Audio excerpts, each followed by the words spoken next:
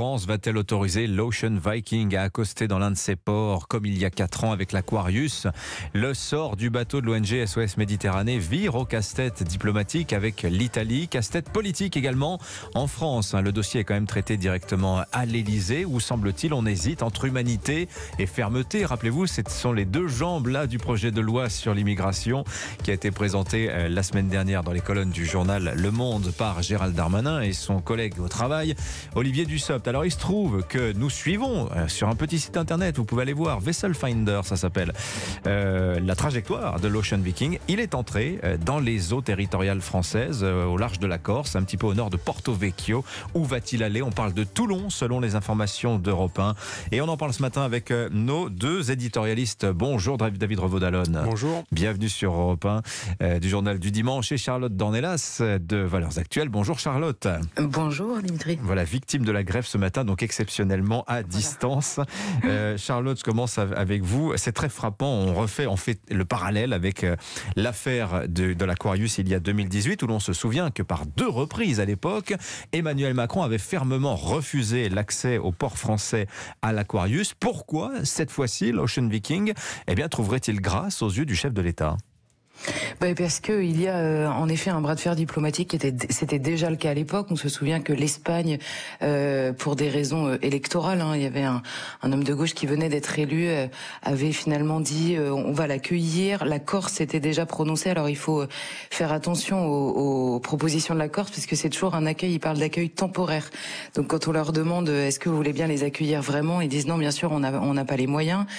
Marseille dit oui, on veut bien l'accueillir, mais c'est la responsabilité de la France et si c'est nécessaire et si la France le dessine, ce qu'on comprend surtout, c'est que personne n'a envie d'accueillir ce bateau mhm. euh, pour des raisons évidemment, euh, comme vous le disiez, euh, d'abord politiques. Et c'est pas c'est pas une question d'hésiter. moi, je, je n'opposerai pas l'humanité et la fermeté. C'est simplement que l'humanité, elle prend en compte aussi la question de, de, du poids migratoire sur la population française, qui a aussi le droit d'être considérée avec humanité.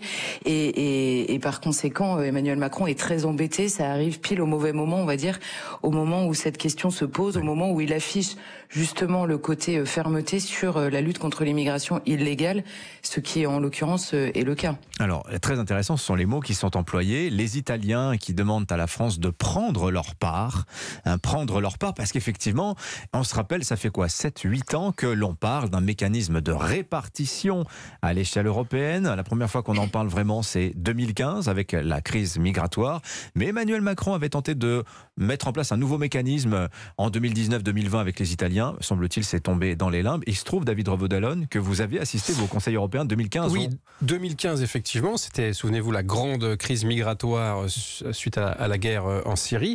Et effectivement, j'avais assisté à plusieurs conseils euh, européens, dont celui consacré à la, la clé de répartition des migrants par pays. Et force est de constater que c'est toujours une somme, euh, l'expression d'une somme d'égoïsmes nationaux. Hein, un Conseil européen, on, on, se dispute sur le budget, sur la politique agricole commune, sur je ne sais quoi, mais là, ça avait été d'une grande violence et d'une grande tension, et plusieurs acteurs m'avaient raconté qu'ils n'avaient jamais euh, euh, à ce point senti vraiment des antagonismes aussi virulents. Ça veut bien dire que on n'est pas sorti, si j'ose dire, de l'auberge. Et vous évoquez ces accords de, et ces clés de répartition. Il y a encore eu un accord à l'été. À l'évidence, ça ne fonctionne pas, puisque je bah crois que les les objectifs sont pas du tout euh, remplis. Alors, d'abord, sur, sur euh, Mélanie et sur le gouvernement italien, d'abord sur Macron, il faut rappeler qu'à l'époque, Macron avait finalement été beaucoup plus ferme à l'époque de l'Aquarius, puisqu'il avait totalement refusé. Il y avait eu un, premier bras de fer à l'époque, c'était avec le ministre de l'Intérieur euh, qui s'appelait Matteo Salvini. Je rappelle qu'aujourd'hui, le ministre de l'Intérieur est l'ancien directeur de cabinet de Matteo Salvini. À l'époque, Macron avait totalement refusé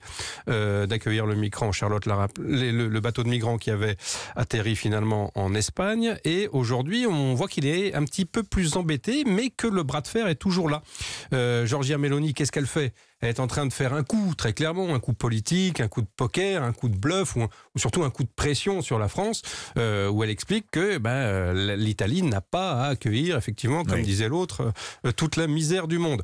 Je rappelle simplement un fait, c'est que euh, en réalité, l'immense majorité des migrants qui arrivent en Italie sont soit recueillis par les gardes-côtes italiens, soit arrivent directement à Lampedusa. Donc en réalité, euh, les bateaux de, des associations humanitaires mhm. représentent une part très euh, très très peu importante du nombre d'arrivées en Italie. C'est vraiment un coup très symbolique et un coup très politique. Oui, alors puis elle, profite d'une brèche aussi de Georgia Meloni, on va dire, puisque je citerai une seule phrase d'Emmanuel Macron, août 2021, c'est au moment euh, de la chute de Kaboul en Afghanistan. Que dit le président de la République à l'époque?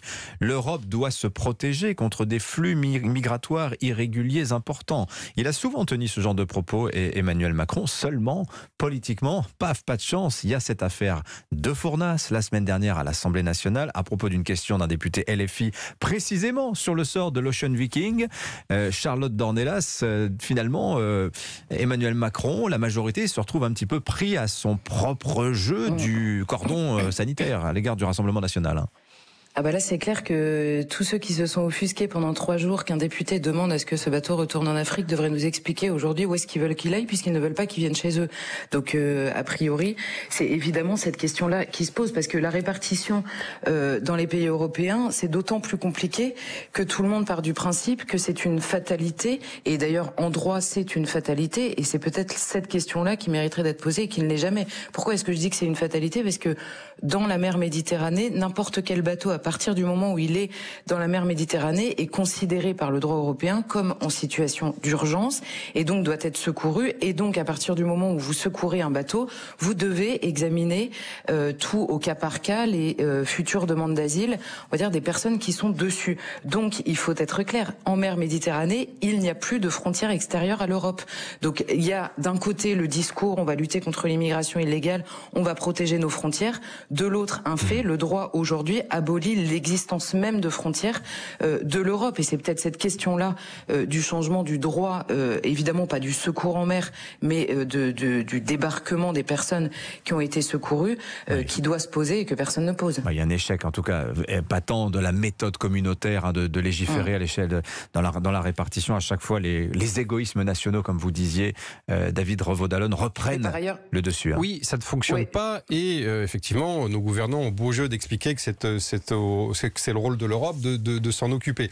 Euh, je reviens juste sur la position d'Emmanuel Macron. Encore une fois, il était beaucoup plus ferme la dernière fois sur l'épisode de l'Aquarius. Pourquoi? Vous avez raison, Dimitri. Vous avez rappelé l'épisode politique de la semaine dernière avec l'affaire de Fournas et, ce qui se passe à l'Assemblée nationale. Donc Emmanuel Macron, là, pour le coup, il est frappé de plein fouet, je dirais, par les limites du en même temps. C'est-à-dire que euh, il est menacé d'une part sur sa droite et son extrême droite par ceux qui vont l'accuser s'il accepte ce bateau euh, sur, sur nos côtes, eh bien de, de, participer à la subversion migratoire et en même temps, de l'autre côté, sur sa gauche et son extrême gauche, mm.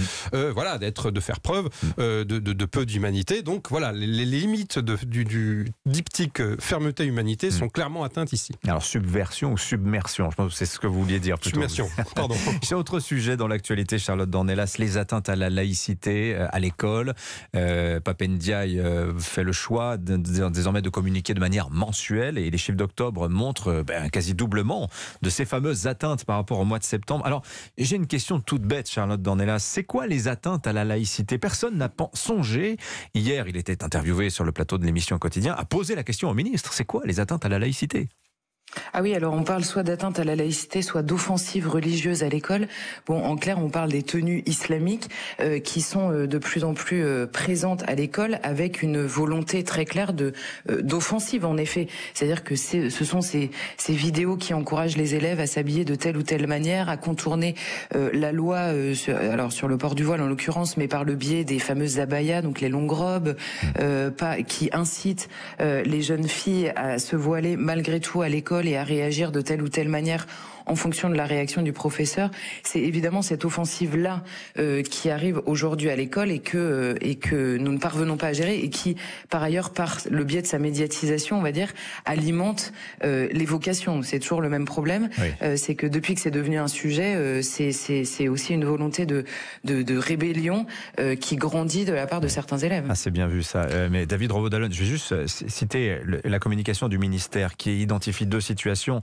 Alors là, moi, je n'y comprends plus rien il y a les signes manifestant ostensiblement une appartenance religieuse et les tenues qui ne manifestent pas par nature une appartenance religieuse, comme les jupes ou robes longues, les abayas ou camis. C'est plutôt étonnant parce qu'évidemment, les abayas et camis sont euh, par définition des tenues euh, religieuses. Donc cette classification laisse euh, un peu pantois.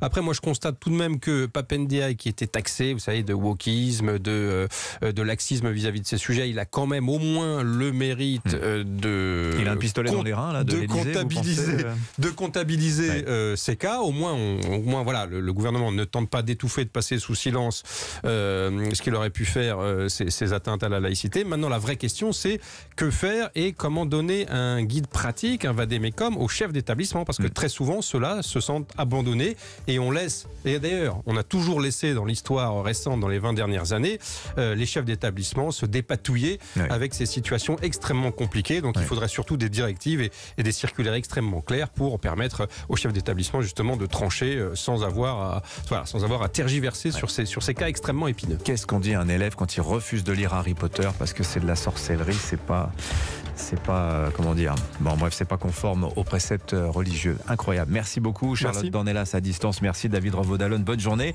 bonne semaine à tous les deux. 8h56 sur Europe 1.